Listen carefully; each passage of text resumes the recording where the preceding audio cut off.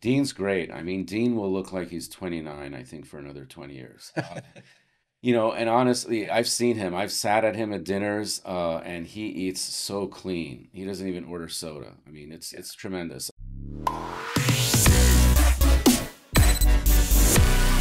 Ladies and gentlemen, welcome to another episode of the Rhinoplasty Podcast with me, Dr. Cameron McIntosh. We are in season three, coming to you live with face to face interviews. And the beautiful thing about this is I've managed to actually track down some of these guys who are almost impossible to get hold of to interview. And we are coming from Berlin today. We're at the International Meeting of Rhinoplasty Societies. And I've got somebody who I've had my eye on wanting to get on the podcast for a while, finally, right here in the studio with me. Ash Ghavami, welcome to the episode. Thank you so much. Appreciate it. This is going to be fun. So, when I was asking you how's the best way to pronounce your surname, you said it should be like salami. Eh? Yeah. Well, because people say Gavani, Giovanni. So it's Ghavami and it sounds like salami as far as the syllables. So yeah. Ash Ghavami. Ash Khan is my first name, but yeah. everyone calls me Ash, all my friends. Yeah. Awesome. So the, the podcast listen all around the world. Oh, okay. Tell tell the listeners a little bit about who you are and where do you come from? What do you spend sure. most of your time doing? Yeah, so I grew up in Los Angeles, California, in the United States, and uh, you know I did all my training actually outside of California. I did university yeah. in uh, Newport Beach area, which is like about an hour and a half south. Okay. And then after that, uh, I went ahead to med school in Ohio, um, I'm sorry, uh, to Wisconsin, University of Wisconsin, mm-hmm. and then which was a great freezing place, but a major a major college town, so very fun. Yeah. Did my medical school there. Did extra time in anatomy, studying anatomy there. Wrote some papers, and then I went and matched into plastic surgery uh, at Case Western in Cleveland, and then finished off at UT Southwestern with Rod Rohrich, Jack Gunter, John Tebbetts, Sam Hamra, all the big greats, Fritz Barton. Yeah, yeah. So I was at UT Southwestern in Dallas during what's considered like one of the golden areas, yeah. golden eras of yeah, Dallas. And at the time, I really do feel like it was probably the best training program in the world. And it was heavily focused on rhinoplasty, as you know. Yeah. With Jack Gunter and Rod Rohrich running the Dallas Rhinoplasty meeting. Now I think it's approaching 50 years. I mean, it's been around for a long yeah, time. Yeah. So, um, so I did a lot of rhinoplasty research there. I wrote uh, the first ever Middle Eastern rhinoplasty chapter in the famous yeah. Dallas rhinoplasty textbook. Yeah, yeah. And you know, I would spend my weekends at Starbucks writing chapters, articles, delving into rhinoplasty, spending time in the cadaver lab before and after the meeting because there's a big cadaver portion. So we had access to all these cadavers. We could do all these studies. I did studies on you know the fat compartments, ligaments of the face and nose and the nose, and it was amazing, tremendous training. So when I got out, I went back to Los Angeles to Beverly Hills, yeah. opened up a private practice, and then I soon got affiliated with UCLA as an assistant professor. Okay. And then right away, I was invited back to Dallas. I think now in the 16th year in a row consecutive, I've been faculty in Dallas. And of course, throughout the years, I've helped with the Aesthetic Society, and so I've been very academically involved. Yeah, yeah. And as you know now, I was privileged to be voted in as the uh, president of the Rhinoplasty Society. Yeah. So this meeting is, as people listening might know, Rhinoplasty Society of America with the Rhinoplasty Society of Europe combined meetings. Yeah. So, um, representing it as president here, and uh, you know, it's Rhinoplasty has always been very multicultural by definition. Yep. You're from South Africa. I spoke to people from Nigeria, from Asia, from all the continents because noses are by definition very cultural. Yep. You know, when you do a rhinoplasty, you don't want to change anyone's ethnicity, make them look awkward or weird. Yeah, yeah. So I spent a lot of time focusing on this aspect of rhinoplasty. And when I grow up, I'm Persian. So I saw my mom, my aunts, my mom's friends, sometimes two, three in a row with casts on when I was eight years old, recovering in our house. Yeah. So for like us, it's very normal, and it's the number one operation in Iran. Yes.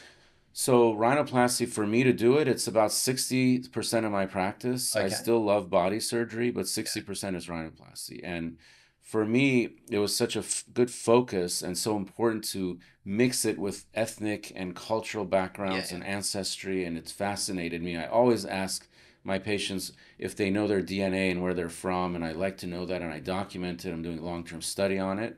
Fantastic. And recently, at me and Sam Most and Nazim Cerkes came out with a textbook called Global Rhinoplasty. Yeah, yeah. Which uh, is incorporates all of these materials. So it's a passion of mine. It's a passion of mine to do rhinoplasty, and despite um, the challenges, especially today, yeah. I feel like with social media, which I'm considered to be a big part of, was involved with social media and Instagram a lot longer than uh, longer ago than most people. Yeah, since yeah. 2012. So um, I've been fortunate to have a very high organic following, work with celebrities, but the most difficult, challenging thing now with social media, I think, is that people come in with unrealistic expectations. They use filters on their face. They look at results from the operating room from other people and they think that can be achieved. As we all know, the nose changes every six months, year, two years, three years, constantly evolves. So I'm constantly having to almost lecture my patients, and yeah, I spend almost sometimes 15, 20 minutes talking to these teenagers and these 20 year olds and 25 year olds, even some of the 45, 50 year old mothers and moms yeah, of 10, yeah, they come in, they still have unrealistic expectations. Yeah. So it's rhinoplasty is just always evolving. And now with preservation techniques and everything, it's just um, really important to master not only the techniques, but how to talk to your patients. Yeah. And how to avoid AI taking over and unrealistic expectations taking over. And as as us being here in Berlin, I was just in Clinica Planas in Barcelona, lecturing there. Um, and I have multiple places I'm going to be going next yeah. year. We're going to go to Dubai for ASAPS. We have yeah. a meeting.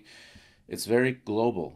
It's very international. It's yeah. very multi-ethnic. So it's great that you're from South Africa and you're doing a podcast with me from Iran, but in California, now in Berlin, talking about global rhino. No, it's amazing. So sorry, that was a long-winded answer. No, it's fantastic. That's yeah, what the podcast it, is about. Yeah, it put it all in. in the less I speak, the yes. better. What has it been like for you in the competitiveness of Beverly Hills? Well, I'll be very honest, and I'm always a straight shooter. Those that know me very well, and even when I gave my inauguration speech uh, for accepting the presidency at Rhinoplasty Society, I was very straightforward. I'm just one of those that's straight. As we say in America, we shoot from the hip. We don't mess around. So very honestly, it's it's been a big challenge because I'm passionate about this. I love what I do, but from day one, my competitors that are my age or a little older, and then the senior guys in town. When I came into town, obviously they're not too happy about it. You know, it's yeah. very ultra competitive. Yeah. So of course you get a lot of you know we all experience a little bit of professional jealousy. We're all you know ambitious, That's overachieving right. type personalities. Yes. If you're gonna not be that, you can't really become a surgeon. Yeah. Especially not something like a rhinoplasty surgeon. Yeah. Because that's ultra competitive, ultra challenging, yeah. technically very demanding and difficult. It's almost as if you're doing just abstract painting versus trying to do a Rembrandt very accurately. Right? It's a very big difference. So it's more like a Rembrandt. Yeah.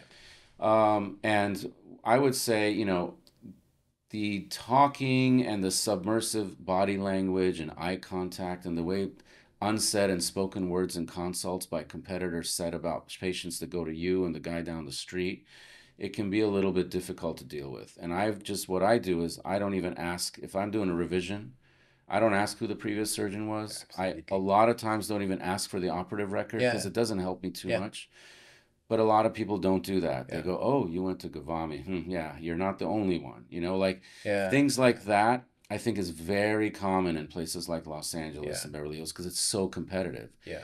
And um, I have developed, whether I've liked it or not, it's just happened this way, and I'm very fortunate, and it's challenging in its own way or not. But I do have a big celebrity uh, clientele and yeah. patient base, and so in their circles, the word gets out. I don't need to market or advertise, yeah. you know. Um, but you know, when people in town know that and they see me posting with a celebrity, it makes them to become even more aggressive with the lingo like oh ghavami yeah yeah you know so yeah, honestly yeah. it's very ultra competitive but i have thick skin i trained in dallas with rod and jack gunter and the big giants yeah so yeah. i have like an armor over me yeah um where you know i'm not uh permeous and i'm not going to be affected by that and that's why i've succeeded because i just look straight and I do my thing. Yeah.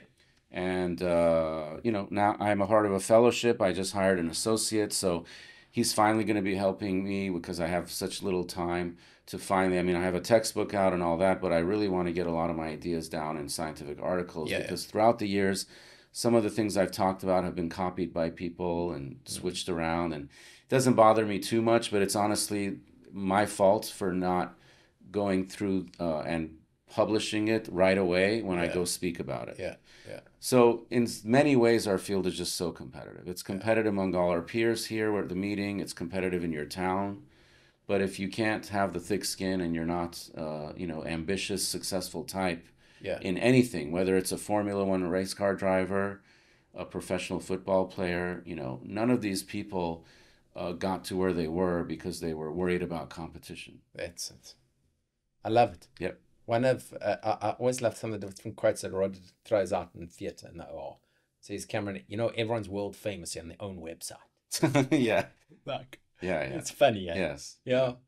Yeah, no, I you know, we don't ask for things like that, but when it happens, it's nice and it happens over time. You know, I didn't pay for it, buy it, you know, it just I've been around for a while. It's been about 16, 17 years I've been in practice. And from day one, I was right in the same building in Beverly Yeah. Hills, didn't move. So I s- eventually, you know, it's like a tree. Eventually that tree grows and the roots go deep.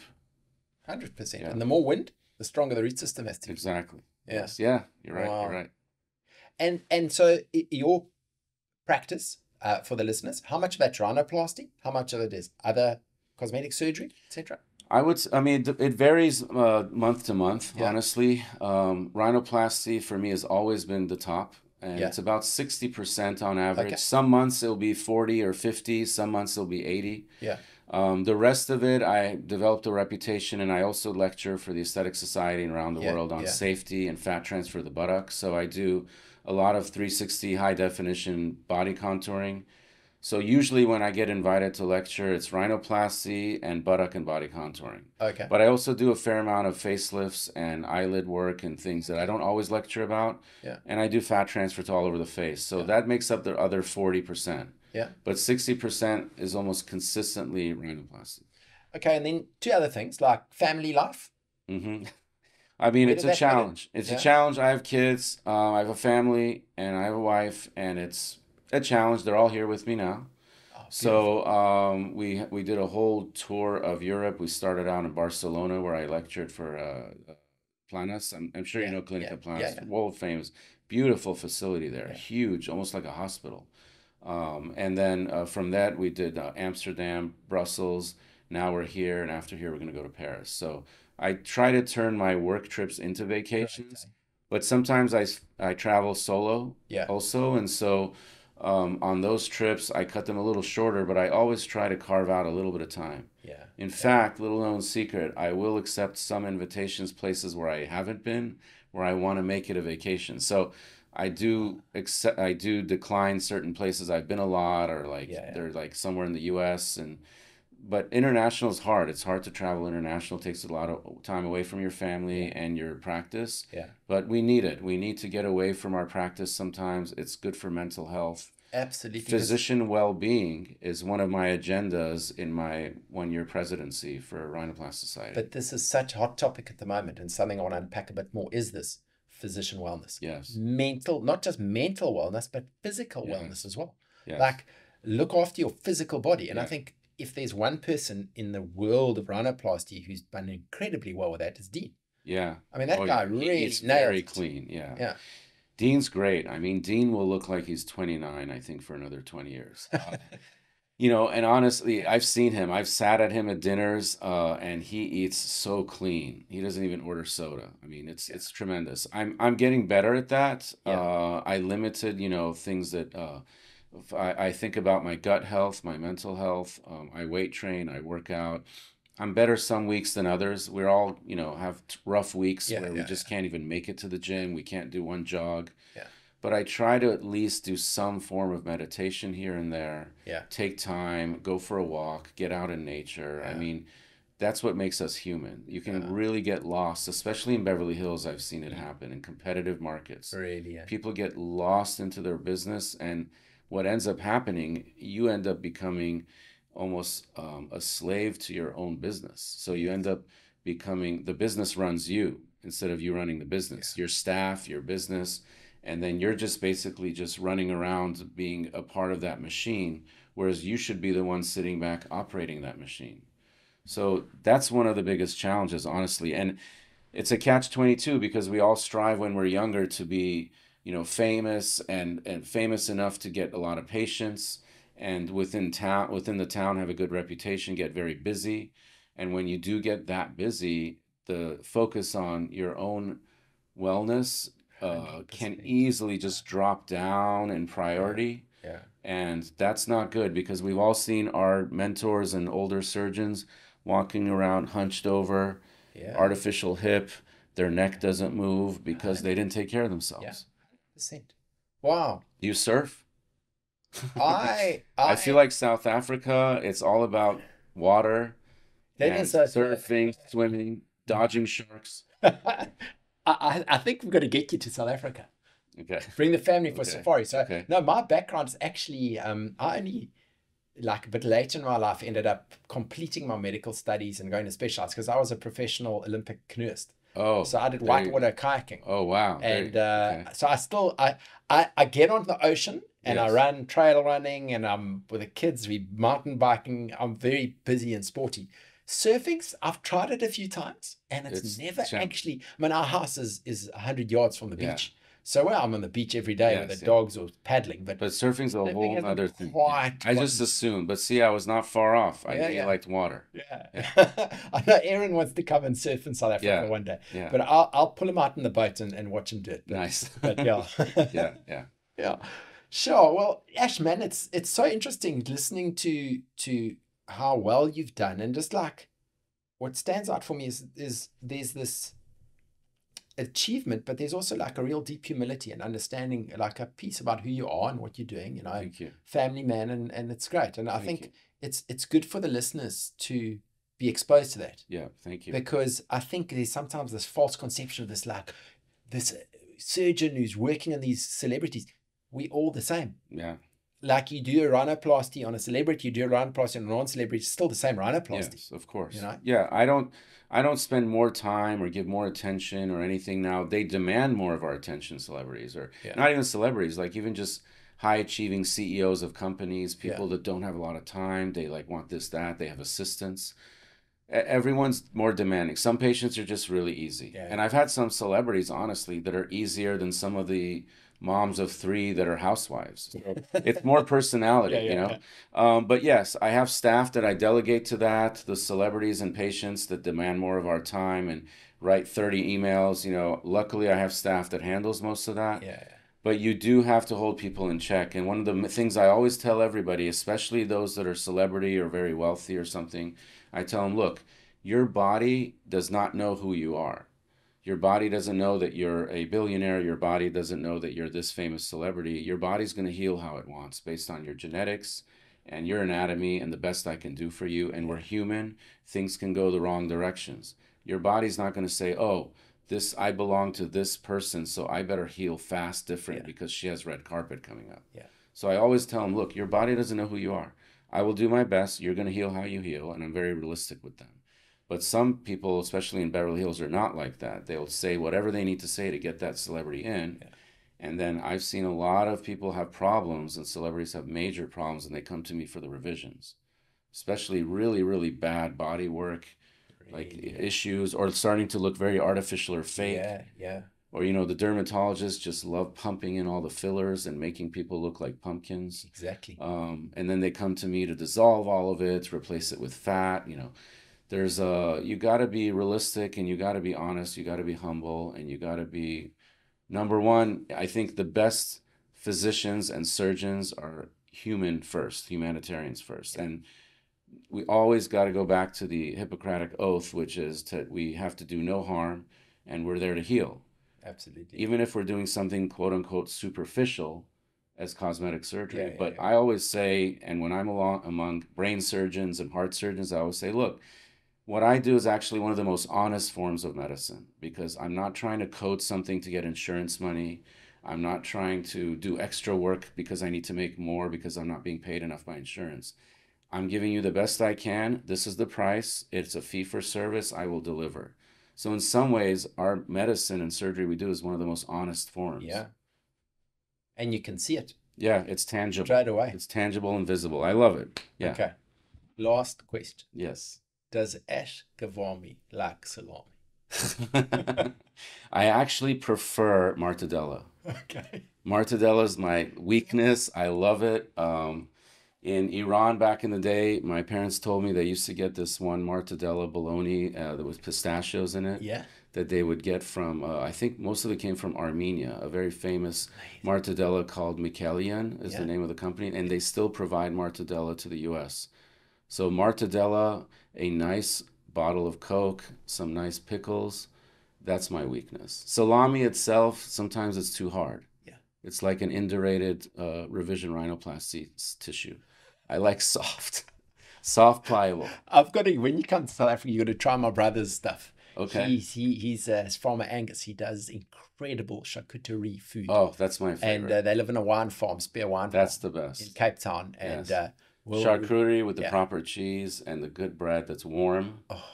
And that's, yeah, I discovered that when I did um, IMCAS about 10 years ago in yeah. uh, France and that was when I really truly had the best charcuterie. And from that point on, it's one of my pre-meal appetizers of choice. That's awesome. Yeah.